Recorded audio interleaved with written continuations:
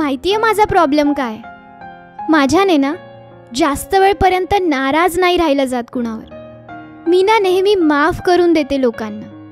भले त्यांनी काहीही केलं असेल मला कितीही दुखावलं असेल आणि बहुतेक याचमुळे मला लोक पुन्हा पुन्हा ग्रँटेड घ्यायला लागले आहेत. कुठे ना कुठे यामुळे मी स्वतःहूनच त्यांच्या जीवनातली माझी व्हॅल्यू कमी करून घेते. आणि त्यांना कळतही नाही त्यांना याची जाणीवही होत नाही की पुन्हा पुन्हा मला हर्ट करून ते मला गमावू शकतात.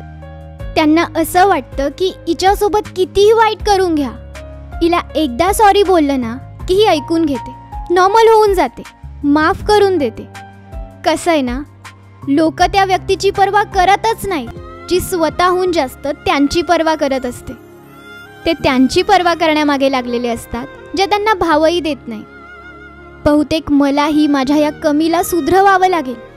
आणि मला हे समजून घ्यावंच लागेल की कुणालाही ही जाणीव कधीच नाही होऊ द्यायची की तो आपल्यासाठी किती महत्त्वाचा आहे. तो आपली कमजोरी बनून गेला.